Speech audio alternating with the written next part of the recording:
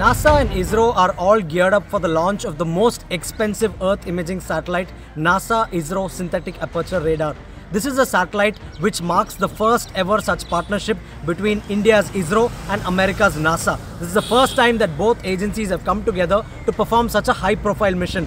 The NISAR satellite costs well over $1.2 billion and this is a satellite that can image the Earth with extreme sensitivity and extreme precision. NISAR can monitor the Earth through day and night conditions and also even amid cloudy conditions. Almost every week NISAR will map the entire Earth's surface and NISAR will be able to detect centimeter level changes on Earth's surface, be it on the solid surface or be it on the ice surface. This is why NISAR is such a significant satellite. It will help humanity understand better about climate change, natural disasters and also several other phenomena related to Earth sciences.